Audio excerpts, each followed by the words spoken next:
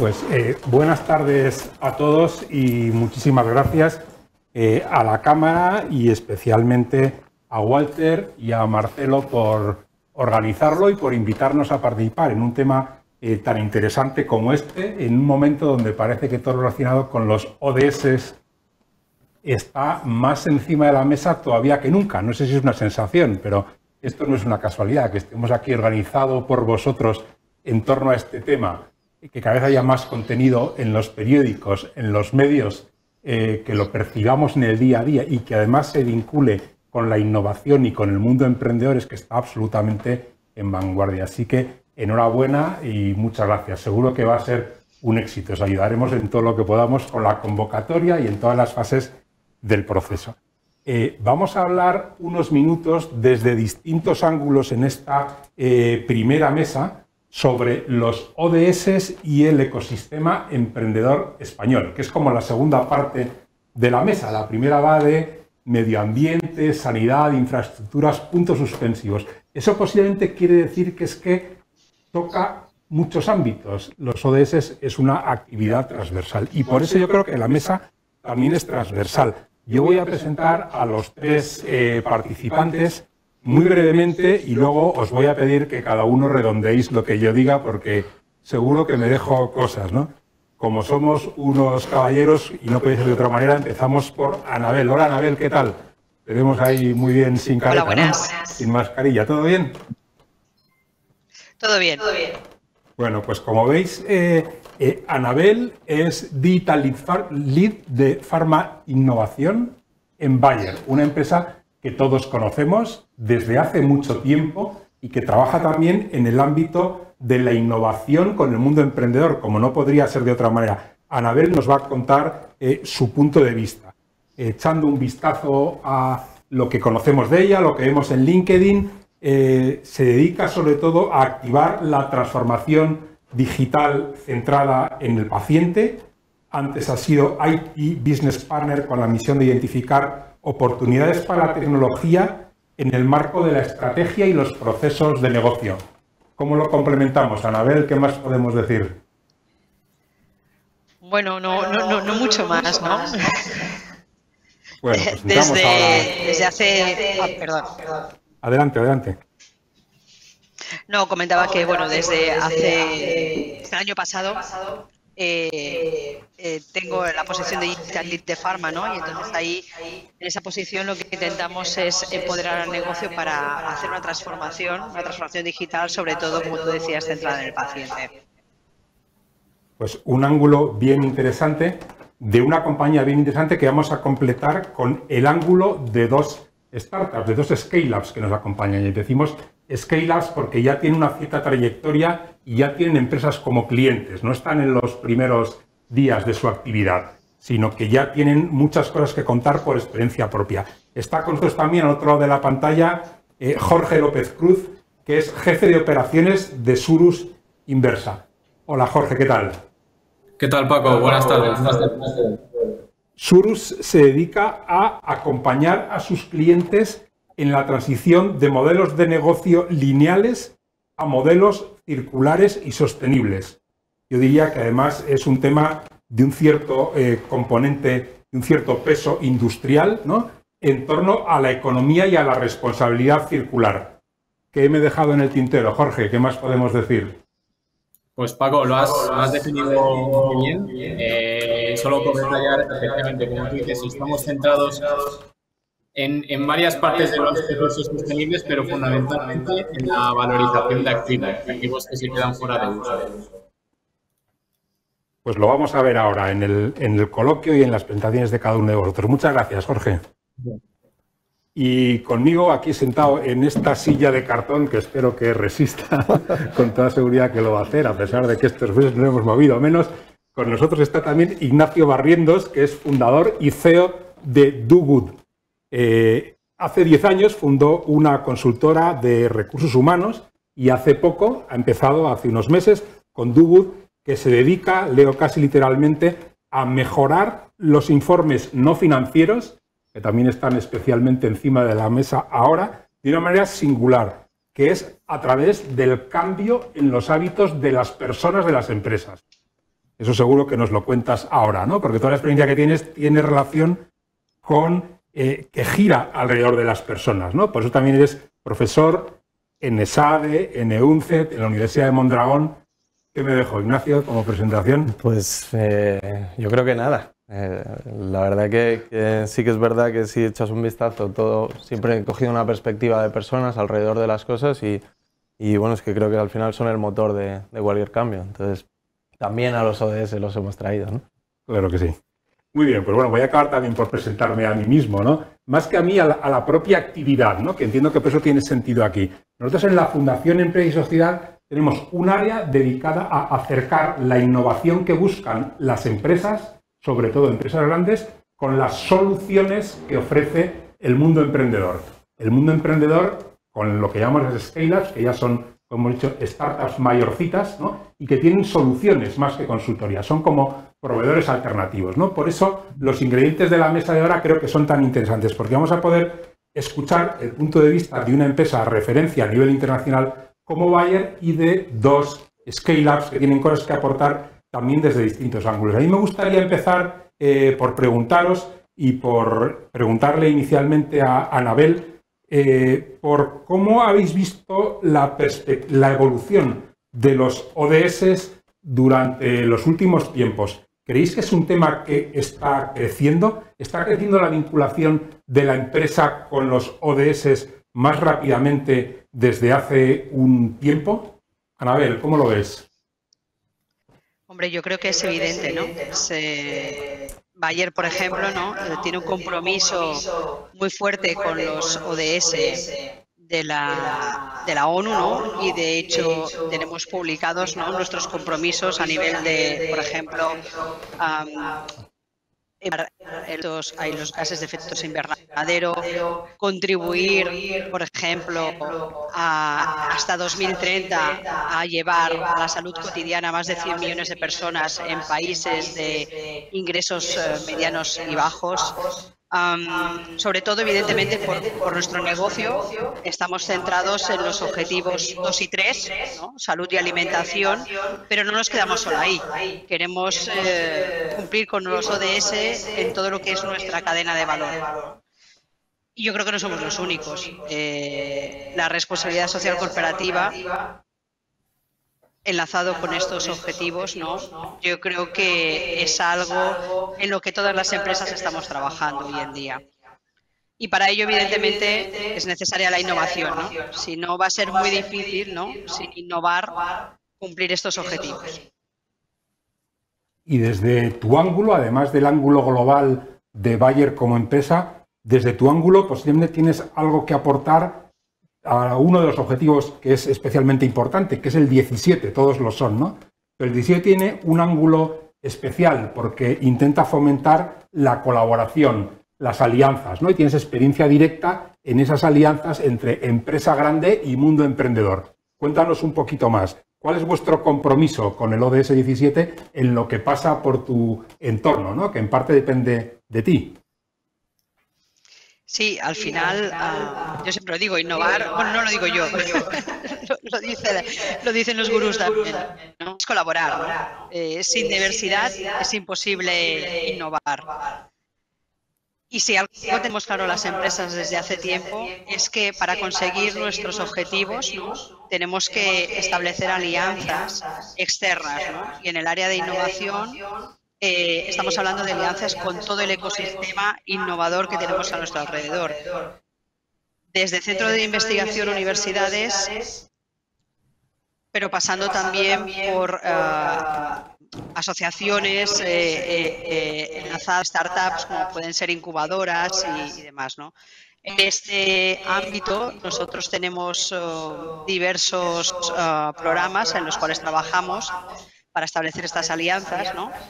A nivel local, pues trabajamos actualmente con The Collider, un programa Mobile World Capital que pretende llevar la tecnología de estos centros de investigación y universidades al mercado y para ello nosotros intentamos ayudar con mentoring a empresas, a estos investigadores ¿no? que están creando, digamos, su startup Y luego también ah, en otros programas con la Universidad de Barcelona, por ejemplo, o también con asociaciones como el Barcelona Health Hub, ah, formado principalmente por startups con las cuales nosotros ah, intentamos ayudarles a llevar su, su, producto al mercado, ¿no? enlazándolo con nuestros retos, con nuestros objetivos, pero también intentamos nutrirnos de su cultura y de su disrupción.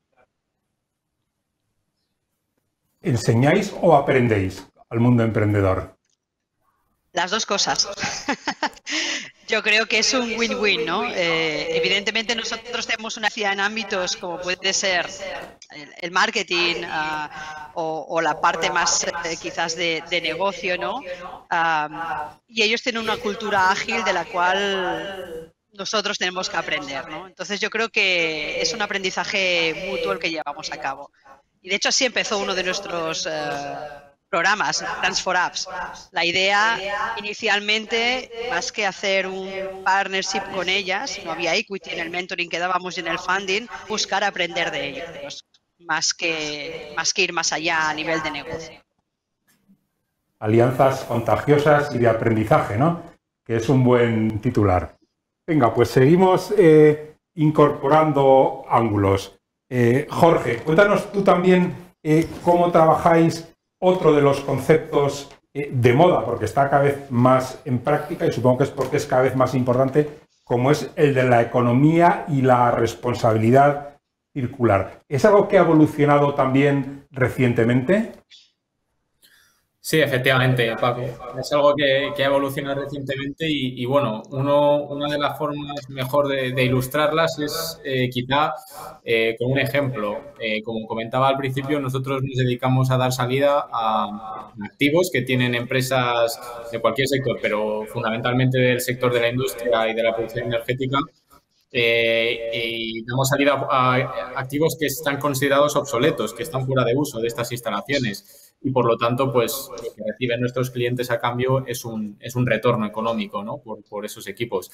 Entonces, eh, sí que estamos experimentando un proceso en el cual estamos dejando de ser vistos como, como un portal de venta de sus equipos de segunda mano a eh, una empresa que lo que te hace es, pues te procura una solución eh, que te ayuda a, meterte de lleno en todo lo que es eh, un proceso circular, un proceso en el que das, eh, bueno, pues una solución a un activo que a priori se consideraba, se consideraba totalmente obsoleto y cuyo destino pues, pues iba, a ser, iba a ser el vertedero. Entonces, nosotros estamos enfocados principalmente en, los, en el ODS 12 y en el 13 y como bien ha comentado Anabel, pues lógicamente no podemos dejar de, remarcar el, 17, que es el de las alianzas con, estas empresas y, con cuyos objetivos también estamos alineados. Entonces, eh, ese, cambio sí que se, ha venido, se ha venido eh, haciendo cada vez más evidente en los últimos, en los últimos, en el último, vamos, los últimos años. Yo ahí nos conocemos ya hace tiempo efectivamente empecé, cuando nos conocimos, hablabais más, eh, por ejemplo, de activos en desuso eh, que de economía circular, ¿no? que es eh, lo que es un concepto mucho más completo que entiendo que también ha ido evolucionando. ¿no? ¿Por qué no nos pones algún ejemplo de, cosas que habéis hecho para que entendamos mejor qué es lo de, la economía circular? Porque no es un mercado, digamos, de venta de segunda mano que me vez de vender ropa vendes activos. Es algo, un concepto más elaborado. ¿Nos lo cuentas? Sí, es un, es un concepto más elaborado, pero bueno, que sí que vender ropa, se vende. y, lo que nosotros hacemos en lo que son las, las instalaciones industriales es, es eh, acometer el proyecto en el proceso entero. Es decir, una, vamos a suponer un ejemplo de una línea de producción de, una fábrica de vehículos o incluso ahora que, se está llevando a cabo mucha repotenciación, las repotenciaciones de los parques eólicos. Cuando se va a producir esa repotenciación, pues eh, a la hora de sustituir las turbinas eólicas que están en el parque presente por, por unas nuevas que sean más eficientes, eh, hay diferentes, diferentes alternativas, como puede ser, pues, oye, el desmontaje eh, de, los equipos eh, para su canibalización y, eh, pues, enviarlos al vertedero. Nosotros lo que hacemos es gestionar esa venta de segunda mano a, través de nuestro, de nuestro canal de, venta y de subastas que busca un, público pues, muy específico y gestionamos todo ese proceso para estar de mano del cliente, del comprador, desde en todo momento. Y analizamos las alternativas con el objetivo, pues bueno, de evitar que se generen residuos y, siempre de analizar cualquier alternativa que pueda suponer, pues eso, un, eh, influir en la economía circular, lógicamente. Es algo así como que un activo en desuso, ¿no? O un excedente eh, se puede no solo recolocar, sino puede ser materia prima incluso para otro en cualquier parte del mundo, ¿no? Va un poco por ahí. Efectivamente, yo estaba hablando de los equipos, eh, bueno, pues un aerogenerador, todos podemos imaginarnos cómo es, pero dentro de lo que es una fábrica o una instalación a gran escala podemos encontrar muchísimos materiales que en un proceso in situ de segregación se pueden obtener, se puede obtener materia prima que, lógicamente pues eh, tiene un valor ya que no ha sido considerado como residuo. Y, de ahí pues hay un sinfín de alternativas que, están por explorar, lógicamente. Y desde el punto de vista económico me imagino que también es un cambio, ¿no? Porque eh, eh, cuando una empresa está en una situación, por ejemplo, de desinstalación o de ver qué hace con activos en desuso, en principio es un gasto, es un dolor de cabeza ver qué hago con ello, desde todos los puntos de vista, también desde el punto de vista medioambiental, y en el caso vuestro casi dais una solución, porque lo, lo recolocáis, con lo cual se evita parte de ese dolor de cabeza, digamos, de gasto y de, eh, eh, digamos, tratamiento medioambiental adecuado, ¿no? Porque lo volvéis a poner en circulación. Efectivamente, volvemos a poner el equipo en circulación, se evita por lo general generar residuos, que eso, como bien has dicho, lleva un coste, pero es que vamos incluso, se puede ir más allá, porque aquellos equipos que tienen, por los componentes eh, que tienen, eh, tienen un elevado valor, ya que su composición pues, son metales, eh, cobre, etcétera, a la hora de ponerlo en venta como un equipo útil, pues lógicamente se pueden alcanzar valores más altos, ya que quien lo va a comprar es porque le va a dar una segunda vida y es porque lo necesita. entonces se puede conseguir eh, eh, unos retornos más altos que si lo vendes por materia, eh, por el peso de los materiales. Y eso para el cliente, lógicamente, pues es un, es un, atractivo muy importante y, y nosotros intentamos alinear esa, esa ventaja con eh, lo que supone realizar nuestro modelo que eh, pues también complementa sus informes no financieros. Entonces, al final, eh, lo que englobas es tanto el aspecto económico como el aspecto medioambiental. Y, eso, la sostenibilidad es eso, al final, es tener tanto solvencia en una parte como, como en la otra, ya que creemos que, sin, la economía, el, cuidado del medio ambiente y la sostenibilidad no se, no se puede tener. y viceversa, lógicamente. Claro que sí, difícil poner el, bisturí de separación ¿no? entre lo económico, lo medioambiental, lo social. Eh, eh, vamos a ver ahora con, Ignacio también esta última parte, ¿no? que parece que eh, es una dimensión muy complementaria a las dos que hemos visto. ¿no? hablábamos de que Dud se dedica muy en esencia, seguro que tú lo cuentas mejor, pone el foco en cómo cambiando los hábitos de las personas Entiendo que pequeños hábitos de números grandes de personas se puede contribuir a los, a los ODS. Cuéntanos un poco cómo ves, eh, eh, en torno a la pregunta inicial, ¿qué ha evolucionado eso? ¿Nos implicamos más las personas? ¿Hay más interés en ir cambiando esos hábitos porque tienen una motivación eh, relacionada con los, con los ODS? ¿Ocurre eso también en las empresas? Pues nuestro origen, Paco, viene eh, fundamentalmente de, darnos cuenta de que en un mundo que está poniendo la sostenibilidad en el centro, o que de repente eh, dice, estamos haciendo dinero, pero esto ya no va solo de hacer dinero, sino que además tengamos un mañana, ¿no? tengamos un porvenir, eh, nos damos cuenta de que hay algunos aspectos que van a peor. si miramos los índices de, de tristeza, lo podemos llamar como queramos, eh, nos damos cuenta de que en ese sentido vamos a peor. Y ese es nuestro origen. Nuestro origen es ver una gráfica donde se representaba que las tasas de, consumo de antidepresivos habían aumentado en los últimos 20 años en, la gran mayoría de los países de sociedad capitalista. contar el último. Sí, este, vamos, a, vamos a ver este, dónde nos lleva. Pero eh, viendo un poco eso, eh, es donde nosotros decimos eh, ¿qué, está ocurriendo. ¿no? ¿Vivimos en un mundo mejor o no vivimos en un mundo mejor? ¿no? ¿Y, a, qué se debe? Entonces, es donde nosotros empezamos a ver o intentamos reducir al absurdo esto de sentirnos, sentirnos bien. ¿no? O sea, ¿qué, nos, qué, denominador común tienen las personas? Y es que cuando tú haces algo que, mm, lo calificas como bueno, ganas sentido. ¿no? Entonces, eh, un poco el, producto al final es cómo podemos ayudar a las empresas a que, a que sumen a, sus personas de una manera innovadora a todo esto de la sostenibilidad, pero el, origen es eh, preguntarle a la gente, ¿te gustaría hacer algo más para cambiar el mundo? 95% de la gente dijo que sí. Entonces le dijimos, ¿y por qué no lo haces? Que era lo interesante y lo que muchas veces pues, es lo complicado. Y ahí nos descubrimos que tenemos un montón de excusas eh, en forma de prioridad, ¿no? Todos somos muy importantes y tenemos tiempo para casi todo, menos para... Lo importante. Eso es. Entonces, eh, descubrimos tres cosas muy, muy interesantes que era que la gente le gustaría, pero hay muchos que no saben qué hacer, no saben cómo hacerlo y se sienten solos al hacerlo. Y ahí es donde nos centramos nosotros, en cómo todo esto de los ODS, que al final no deja de ser un, un, marco que le damos a, a unirnos todos en pro del futuro, eh, nos pueden servir para, guiar a las personas. ¿no? Entonces, eh, bueno, eh, yo estaba reflexionando antes, has dicho, ¿suena esto ahora más que antes? Sí, y, la métrica es que nosotros en el año que llevamos en el mercado con un producto nos hemos sentado con todas las empresas cotizadas. Bueno, no, todas, pero con, muchas de ellas. Menos una. Eh, entonces, eh, creo que sí que hay, que hay necesidad, que hay interés y que, bueno, pues Bayer, de hecho, es un ejemplo de una compañía que, dentro de su management tienen un bono eh, vinculado a temas de sostenibilidad, ¿no? Y yo creo que al final esas pequeñas cosas pues, ayudan, ¿no? A que tengamos ese foco.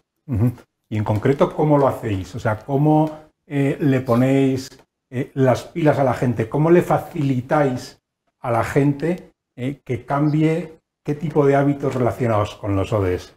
Bueno, yo creo que partiendo de que, el 95% de la gente decía, me gustaría, ¿no? es mucho más sencillo. Entonces, realmente lo que nosotros hacemos es, junto con la empresa, entendemos cuáles son las prioridades a niveles no financieros de las compañías, ¿no? donde pues, la huella de carbono es un ejemplo muy claro. ¿no? Que eso te lo dicen ellas, por ejemplo. ¿no? ¿Cuáles son sus prioridades? Ellos tienen sus marcos, sus índices, que son más estratégicos para ellos. ¿no? Está GRI, que en Europa es muy... ¿no? Está CDP a nivel carbono. Y en base a eso, nosotros convertimos esas prioridades y les damos...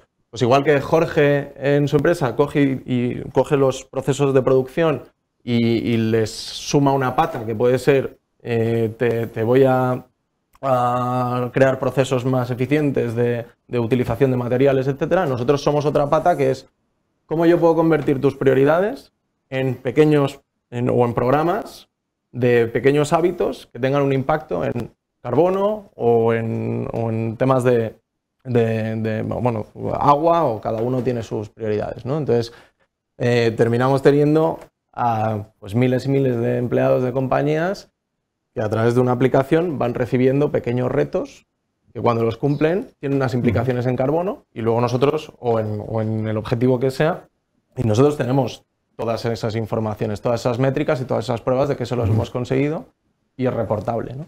Ponos el ejemplo de un reto para que lo entendamos. Pues te pongo muchísimos. Eh, te puedo poner el de cambiar las bombillas de tu casa por unas bombillas LED, eh, podemos, lo típico también, ¿no? O sea, hay muchas cosas típicas que, decimos, bueno, qué, tontería, pero que no las hacemos, ¿no? Todo lo que tiene que ver con, consumos de plásticos, de bolsas, eh, incluso teníamos retos preciosos que consistían, que eran temas de diversidad, eh, incluso generacional, que eran, oye, puedes hacer tareas de tu compañero y estás contribuyendo a temas de alianzas, estás trabajando tu adaptabilidad, puedes hacer una reflexión sobre un juguete que históricamente ha sido de hombres y que de repente dices, pero por esto porque es de hombres, ¿no? Un, camión de, la basura porque es de hombres, ¿no? O, cualquier, cualquier, cualquier profesión, ¿por qué la tenemos que estigmatizar, ¿no? Entonces, eh, te das cuenta, bueno, nosotros tenemos 800 eh, retos con el impacto calculado que tienen en cada uno de los objetivos de desarrollo. Pues hay retos prefabricados que adaptáis a las prioridades de cada empresa. Prefabricados, sí, al final lo que, tenemos, tenemos, son programas, ¿no? O sea, si una empresa nos dice, oye, eh, yo quiero trabajar el ODS 5, el ODS 3 o el que sea, eh, tenemos ya, como por así decirlo, unos paquetes eh, de retos que si los, si los hacen un X% por ciento de su compañía, pues vamos a mejorar sus, sus resultados, ¿no? Muy bien, pues esta es más o menos la primera ronda. Ahora os voy a provocar un poquito eh, a los tres, porque conscientemente no os pasé las, las preguntas. Ahora vamos a hablar un poco más de futuro. Entiendo que os habéis escuchado unos a otros, ¿no? Eh, y habéis visto pues, que ha ido evolucionando con el tiempo, porque el tema de alianzas, Anabel, no estaba igual hace cinco años que ahora, tampoco la economía circular y tampoco los hábitos de la gente, relacionada, por ejemplo, con el menor consumo de plásticos. Eso ha evolucionado en los últimos digamos, tres, cinco años y ahora posiblemente va a toda velocidad, ¿no? Eh, ahora el sería eh, darnos algunas pinceladas de hacia dónde vamos. ¿Cómo te imaginas, Anabel, eh, volviendo a la secuencia de antes, cómo te imaginas el mundo de vuestras alianzas en general y en particular con el mundo emprendedor dentro de unos años? ¿Hacia dónde vamos? ¿Por qué se caracterizarán? ¿Con qué tipo de emprendedores trabajaréis? ¿En qué áreas?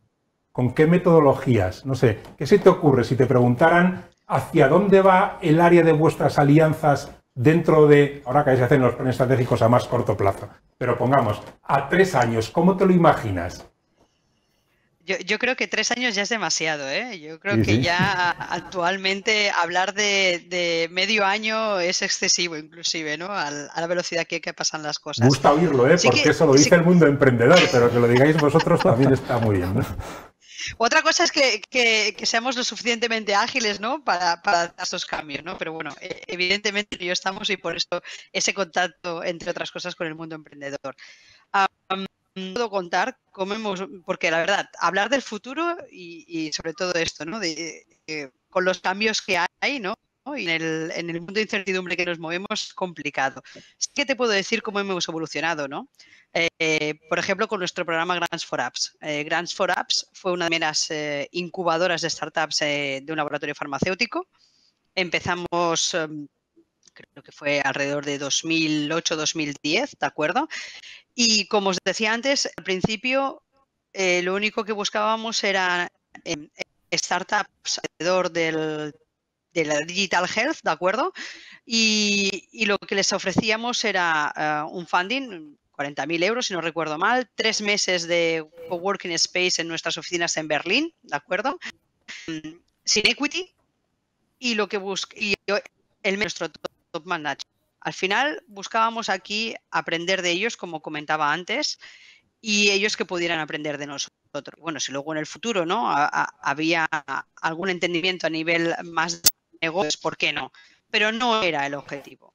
Este programa ha ido evolucionando en el tiempo. Ahora aceptamos ideas de, startups de todo el mundo.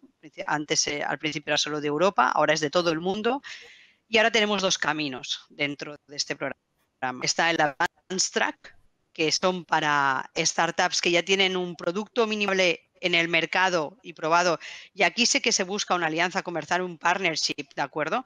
Eh, con un win-to-win -win de ambas compañías y luego tenemos el Growth Track, ¿no? El Growth Track eh, es más parecido a lo que hacíamos inicialmente y aquí lo que se busca es dar el mentoring a startups que están en una fase más temprana, que solo tienen un MVP, ¿no? Y aquí se les da el mentoring y se les da ese espacio de, de coworking, ¿de acuerdo? Intentamos aprender también de ellos. Pero sí que ha cambiado. Ha cambiado, por ejemplo, el cómo lo hacemos. Ahora queremos enlazar esas propuestas, esas ideas de las startups, las propuestas de valor que vienen de ellas con nuestros retos. ¿De acuerdo? Y eso es una de las partes difíciles, ¿no? Para colaborar con, las empresas, con las startups. Puedo poner el ejemplo de que a mí se me acercan muchas startups, ¿no? Realmente a ver ese, encaje de, cuáles retos, cuáles objetivos, ¿no? Y, cuál es tu propuesta de ¿no? Y donde realmente eh, sale la ¿no? de, esas alianzas. Pero que en el futuro uh, las alianzas formen parte del día a día, ¿no? Y, trabajemos con ellas algo actual, ¿no? y, que no es necesario quizás eh, tanto, no sé si la palabra sería burocracia, trámite, ¿no? Como para ello, ¿no? Que sea todo mucho más fácil, ¿no? Digamos, todo más fluido y más alineado, ¿no? Alineando eh, retos y objetivos por parte de todas las partes. Esas son las alianzas, en definitiva. Pues muchas gracias, Anabel. ¿Habéis tenido también tiempo para pensar? ¿Tenéis más tiempo vosotros a lo mejor? ¿eh? Perdona por el atraco, Anabel. ¿eh? pero Jorge, a ver, ¿qué, dirías tú de hacia dónde crees que va la economía circular a futuro? ¿Qué veremos en el horizonte de dos, tres años? ¿Proliferará en el mundo casi de cualquier empresa, de cualquier sector? Eh, será ya eh, un ingrediente habitual en cualquier eh, planificación de inversiones, ya pensar en cómo va a ser el día después. ¿Cómo veis el futuro desde vuestro ángulo? Bueno, pues voy a empezar por lo, último que has dicho. Si va a ser un ingrediente dentro de lo que es la planificación, desde luego nosotros como objetivo ese lo tenemos entre ceja y ceja, porque al final, y como he comentado antes, hablo desde nuestra experiencia hasta ahora. Muchas de las decisiones que tienen que ver con los proyectos en los que nosotros participamos, porque también estamos dentro de los proyectos de desimplantaciones, son, son decisiones que están motivadas por, eh, bueno, pues, eh, por cuestiones económicas al final y donde la, eh, la parte de sostenibilidad está presente, pero de una forma... Mm, eh, no quiero decir simbólica porque, bueno, eh, pero, pero casi. Eh, entonces, creemos que, la parte de, la sostenibilidad y la parte que tiene que ver con el medio ambiente y, por supuesto, con la economía circular tiene que ser un, argumento que pueda llegar a decidir dentro de lo que es la, la, estrategia de una empresa a la hora de tomar una decisión de forma directa. Y hasta ahora se está teniendo en cuenta, pero ya te digo, de forma no tan importante y, nosotros vamos estamos persiguiendo que, sea así y, creemos que, va a acabar siendo así. No sé si, si hablabais de, dos, tres años, no sé si será dentro de dos, tres años o si va a ser antes. Pero lo cierto es que mm, va a acabar eh, formando parte de ese proceso de toma de decisiones por eh, cuestiones que, pues bueno, lo hemos visto, en, eh, lo ha dicho las Naciones Unidas y otros organismos eh, internacionales de tremenda repercusión que al final pues hay una escasez en los recursos, eso tiene sus, consecuencias económicas y al final dentro de las decisiones estratégicas de las empresas se va a tener en cuenta. Entonces, hasta ahora no está siendo tanta, no está teniendo tanta importancia las decisiones estratégicas, pero lo acabará teniendo. Pues muchas gracias, Jorge, desde, desde distintos ángulos, pero yo veo que los dos habéis coincidido en que tres años está muy lejos, ¿no? O sea, va todo muy deprisa, es otro de los eh, puntos clave. También ocurre eso desde el punto de vista del compromiso eh, de las personas, Ignacio. O sea, eh, los, los, ODS, en tanto que vayamos cambiando hábitos, pasan a ser, digamos, objetivos internacionales de Naciones Unidas y se incorporan un poco más a lo personal, ¿no?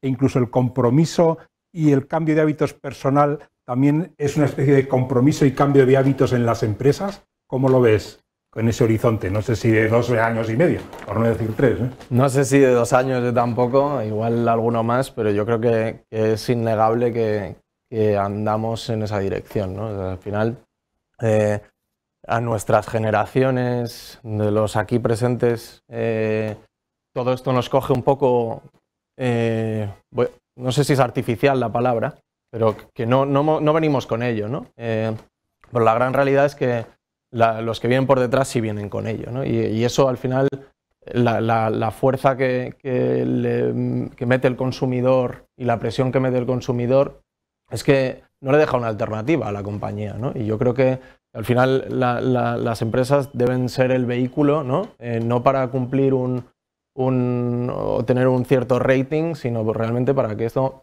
termine impregnado eh, de manera artificial o no, pero en, en, el ADN de las personas. Y yo creo que, mm, vamos, yo creo en el humano eh, como, como, como, eh, o sea, como tal y, creo que la, ambición del humano es buena y si como compañero es capaz de, tener pequeñas influencias sobre él y trabajar en su concienciación, creo que sí que creas una tendencia positiva. ¿no? Y al final lo bueno de las personas es que cuando aprenden una cosa y la integran, es para siempre, ¿no? No es, no es un one-off, ¿no? Por así decirlo.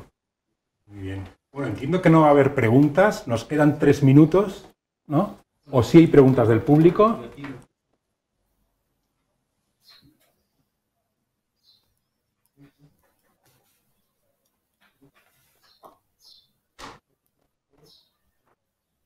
Hay tantas preguntas que no hay preguntas.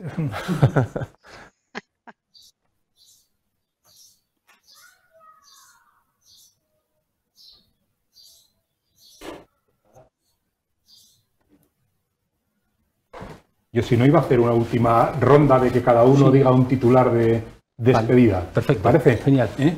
Venga, pues os pillo otra vez por sorpresa y así lo decís con mucha mayor espontaneidad, ¿no? En línea con el, con el título de la mesa, ¿no? Eh, eh, eh, mm, ¿Cómo resumiríais lo que habéis visto, lo que hemos escuchado en estos momentos? Anabel, te vuelve a tocar ser la primera, en el sentido de cómo podemos impulsar, y creo que alianza puede ser un punto común a las tres intervenciones, cómo podemos impulsar a través de alianzas el compromiso de los ODS entre empresas, digamos, entre grandes empresas y el mundo emprendedor.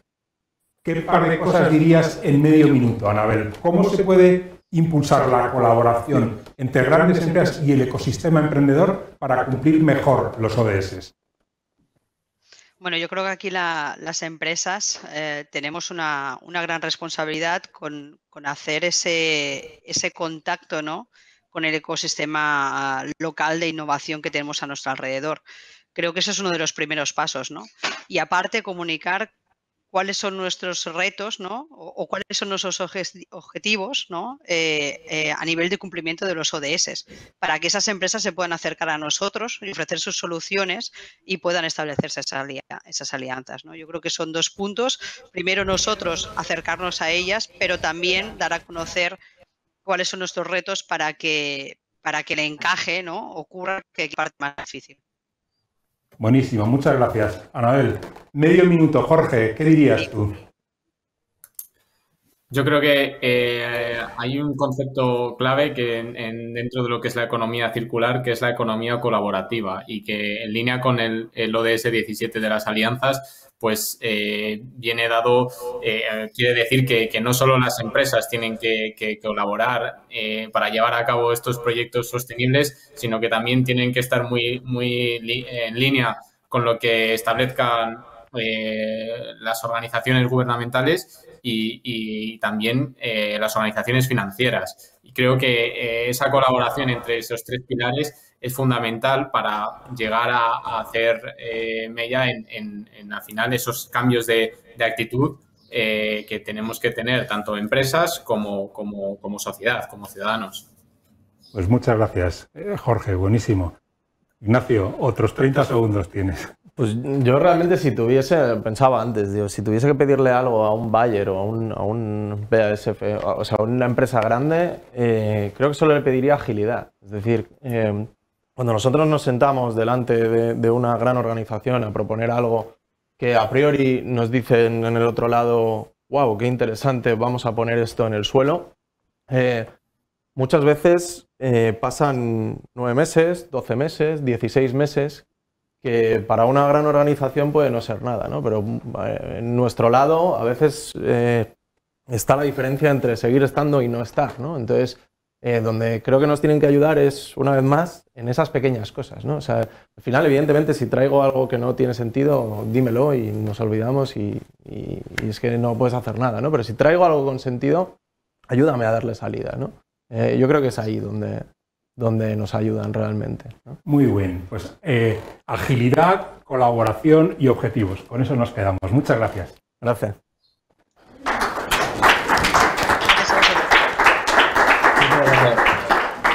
Muchas gracias, Paco. Muchas gracias, Ignacio, aquí presentes. Anabel, muchas gracias. Y Jorge, muchas gracias también por vuestra participación en esta mesa. Eh, me, quedo con una cosa que me ha gustado mucho, eh, que decía Ignacio, y que hablaba de, de los nativos, ¿no? Entonces, claro, hasta hace poco hablábamos de los eh, nativos digitales. Y a lo mejor dentro de poco empezamos a hablar de los ODS nativos, ¿no? Eh, y cómo, cómo va cambiando un poco todo esto, me pareció súper interesante.